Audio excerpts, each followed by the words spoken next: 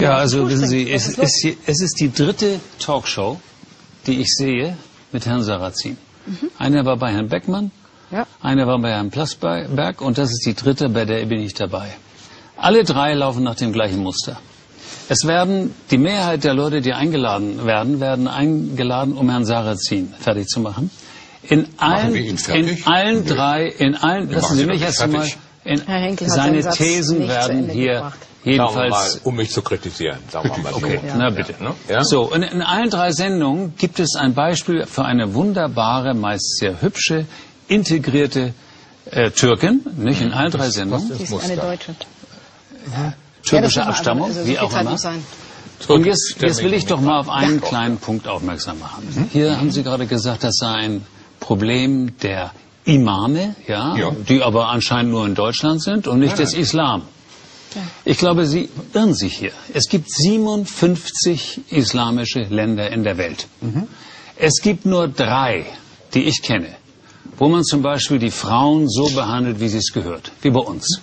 Man versucht es in der Türkei, im Augenblick geht es da bergab. Man versucht es in Indonesien, da macht man Fortschritte und man versucht es interessanterweise im Irak. In allen anderen 54 Ländern werden die Menschenrechte mit Füßen getreten. Mhm. Meistens gibt es dort die Todesstrafe, meistens regiert dort die Scharia und die Frauen haben nichts zu sagen.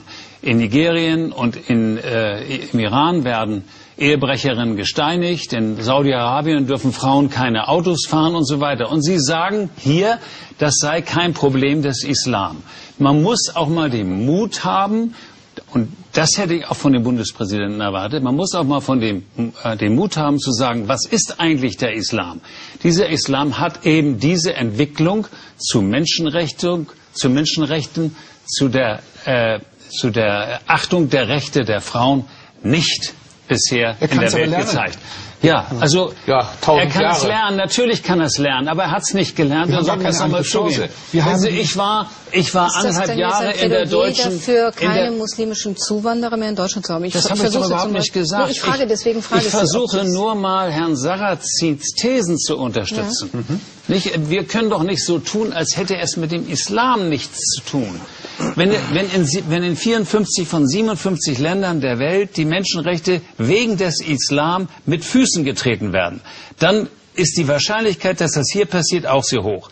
Und ich habe nun selbst in der Zuwanderungskommission unter der Leitung von Frau Süßmuth damals erlebt, wie bereit die politisch korrekten Deutschen immer waren, diese Menschenrechtsverletzung in der zum Beispiel türkischen Community in Berlin anzuerkennen. Die wollten sie nicht wahrhaben damals. Es, es, brauchte erst Ehrenmorde, es brauchte erst das Bekanntwerden von massenhaften Zwangsheiraten, es brauchte erst alles dies, um irgendwann mal dieses Problembewusstsein auf den Tisch zu legen. Alles Aufgaben, diese, die man ändern Und diese, ja, das weiß ich doch selbst. Und wissen Sie, wer das ändern will? Und wissen Sie, wer einen Beitrag dazu geleistet hat, wie kein anderer das zu ändern? Der sitzt hier. Das ist so, Herr Sarrazin. Ich würde gerne